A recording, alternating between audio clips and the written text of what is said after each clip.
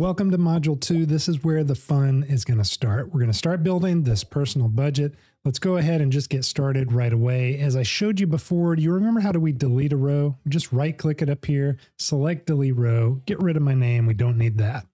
Now we got two sheets we're going to work with. Let's delete this out of the cell. We can just hit the delete button or the backspace button will delete the contents of a cell. We've got this budget sheet and we got this category sheet. In the categories, let's start here and do a couple things. Now we can just type in anything we want, right? Income accounts, expense accounts, and then payment methods is what we're going to have right here. I'm going to do a couple things real quick. Control A, if you press that a couple times, it will select everything in our sheet. Let's do that double click right here so it resizes the columns. And then let's change the font to this outfit just so it looks not like the standard font. I'm going to create a bold font here by just Control B is the shortcut for that, or you could click it up here. And now I want to fill in some income and expense accounts that we're then going to use a little bit further on in this course in our budget. Now I've got them in a spreadsheet already, so I'm going to copy them in. Another thing to note as we copy and paste, look at this. I have pasted or I've copy and pasted and it's brought in some formatting that maybe I don't want. So if I actually, instead of control V pasting normal, I do control shift V, it'll paste just the values.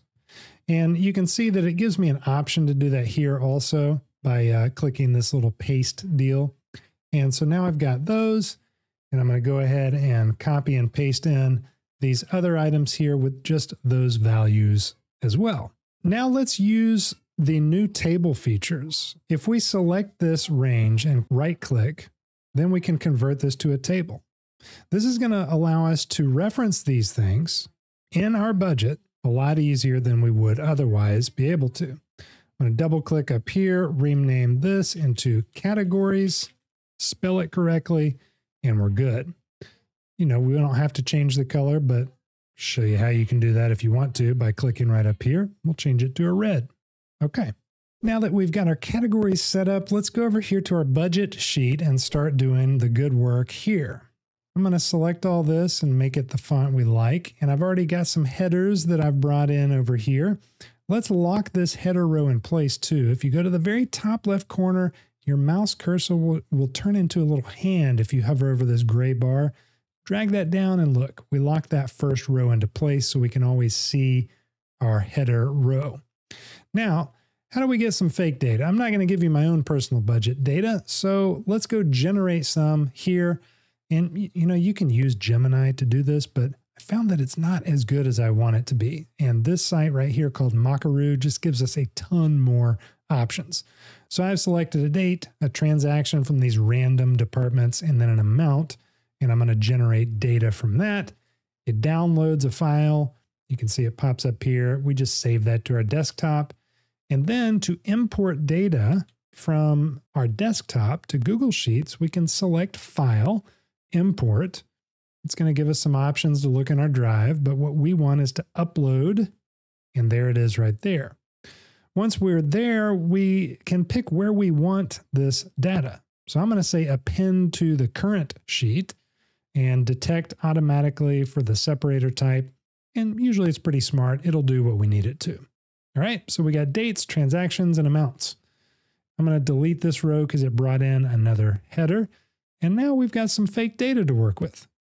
The, uh, the dates are mixed up though. So how can we actually sort this out? If we click this little triangle right here in the column A and scroll down here to sort sheet A to Z, it will actually sort all of those amounts by the date. So now we've got everything from January through March 2024. And those are all in order. So now we're good to go in filling out the rest of the sheet. Before we start doing some more advanced stuff and finishing out the rest of the build here, let's just talk about formulas and functions. So a function is a built-in function in Google Sheets. It looks like this. Sum, this written word, is a function that takes values and then adds them together. So if I put sum 5 and 5 with a comma in between, it's going to give me 10. If I put sum of these two cells by clicking and dragging down, it's going to add up these cells together. If I type in something like 5 plus 5 immediately in a cell, it's going to also give me 10. It'll do basic arithmetic and everything on its own, but the functions that are built in are where the real power is. And something Google Sheets does a really good job of that is actually something Excel could take some notes on is this right here, this pop-up menu.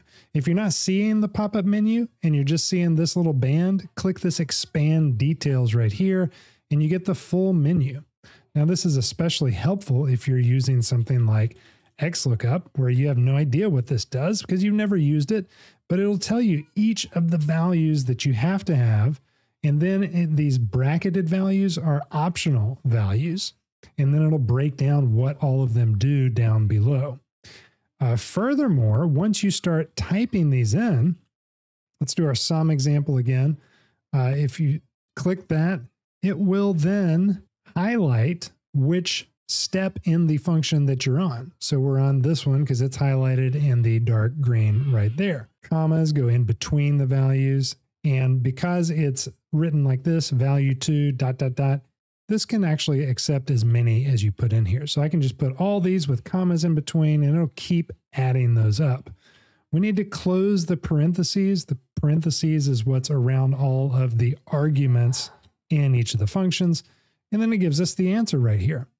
And if I were to change one of these values, that amount changes too. So that's the powerful thing about using functions is it will manipulate or it will give us answers on our data if we change or manipulate our data.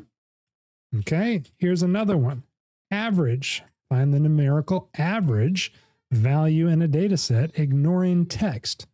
So that's pretty cool. If we drag this down, this is the notation used for a range instead of just a cell. We've got this little colon in between two values, C2 through C19. Remember, we reference cells by the column first and the row second. So C2 is right here, all the way down through C19. And again, they do a great job of color coding where that box of range or where that range box is. And then we find that the average amount in there is 1107.91. If I change a value, then that changes as well right? There's all kinds of functions. In fact, there's over 400 functions. Google Sheets functions. Let me just pull this up for you. Here's the function list. Look at this.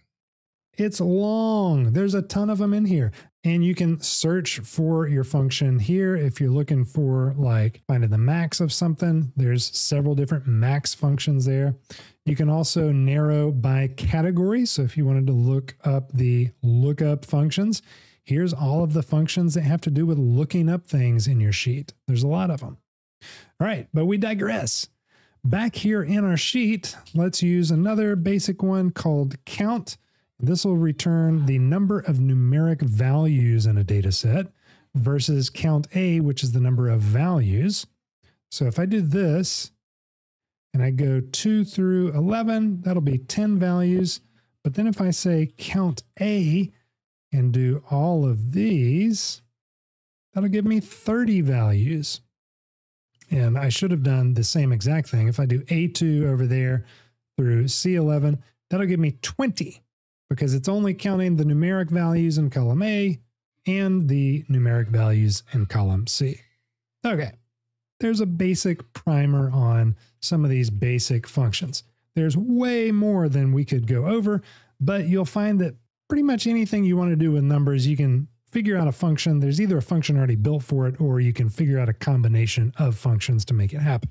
Hey, let's do something very practical. Let's do some formulas right here. Let's give ourselves a starting balance of $20,000. I'm just going to put it up here in H1, and we're going to reference it down here in our balance column. So just like in our functions, if we hit the equals sign, then we can start typing in things. So I'm going to reference H1 and I can either say H1 and type it in right there, or I can click H1. Either way, we'll select H1. And I'm going to say H1 minus this amount. So there's my balance for after this $1,700 book purchase. From then on, though, all we need to do is take the value right above us and subtract the value of this line. Now, instead of typing that in over and over and over and over, we can drag this down. See this little blue dot in the bottom right corner of the cell? If we click and drag that, looky there, that's going to drag the same formula down, but it's going to change the cell references. So instead of looking at F2 all the time, right here it's going to look at, or right here it's going to look at F3, then F4, then F5, and similarly it's going to look at the next value in column C. So we can drag this down all the way to the bottom, or we can scroll down, hold shift and click down at the bottom. So we've got this whole range and control D is a shortcut that will do that same thing, drag it all the way down. So if we scroll down here, you can see we're negative 78,000 in the hole. We really need to add some paychecks and it's done the same thing all the way down to this last row.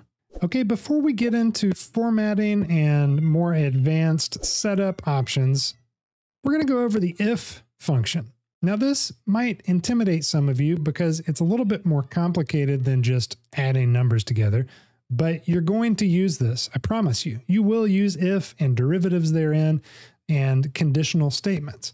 Uh, what we're going to do in our example is in this column G, I've just labeled it big spender. That's not going to be practical for our spreadsheet in the real world, but it's going to illustrate how to do these if statements.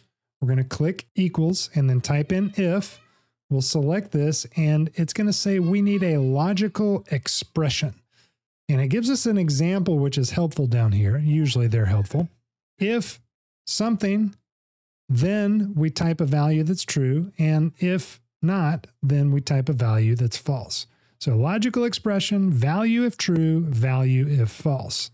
Let me show you an example. So let's just say if C2 is greater than uh, $1,000, then we'll type in big spender in quotes and comma not much. Okay, so that's saying if the value in C2 is greater than 1,000, we're going to type big spender. And if it's not greater than C2, we're going to type not much. Now, check this out. Sometimes we'll get this autofill suggestion, and it'll say, hey, if you want to just autofill this down, click Control Enter. And I'm going to say yes, because that's exactly what I want to do. So now for every amount over here in column C, we are typing in big spender or not much. Now, this is a silly example, but it illustrates the power of using an if statement. And we'll be using these more as we build more complicated things to do automation for us. All right, let's look at some of the other if statements that are available to us in Google Sheets. If we type in equals if, we can see in our little drop down menu all the other functions that are built in that combine with them if. So we have conditions, and then something will happen based on this without us having to manually piece together some of these more common functions. Now, if you're not seeing this menu, if nothing's popping up to help you, remember you can just click on formula suggestions in that little blue question mark. So let's use count if right here, a condition count across a range. Another way to select our range, we could click and drag as we've shown, but we could also just type it in. And furthermore, we can select that whole column C if I say C2 where I start, colon C, and then I don't put an end value or an end row. It's just going to select the entire row. Now, if we hit enter here, we got an error. Why? Well, we didn't put the condition, right? So we need another argument here. We need the criteria by which we're going to count. Let's just put 500 and we have to do this in between these quote marks. That's just the syntax that Google Sheets expects for this function. And here we can see we've got uh, 76 transaction amounts that are greater than $500. Okay, well, a better way to do that. What if we wanted this to be more user friendly? Uh, amount to search point.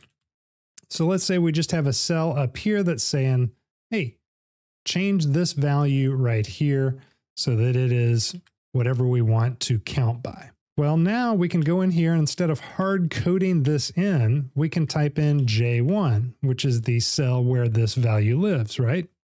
Only we got a problem. It's saying zero. Well, we followed the directions like we were supposed to. What's going on? If we're referencing a cell inside of these criterion, then we can't actually leave that cell reference inside the quote marks. So the syntax gets a little bit more complicated. We leave the greater than sign because we want it to see that we're using that, but then we have to hit the ampersand and then type in J1. And you can always tell if you're actually referencing a cell when it turns a different color. So we've got this outlined in purple. The letter and number of the cell reference actually turn purple inside of our little formula bar and we hit enter and we still get that 76 uh, search count. This is more useful because then a, a, user can just come over here and select a different amount, type it in, and it immediately recalculates instead of having to come in here and manually type it out. So there it is. Now let's get geared up to do some conditional formatting in the next section, followed by some data validation and all of this together, we're going to have at the end a fully functional, actually working personal budget.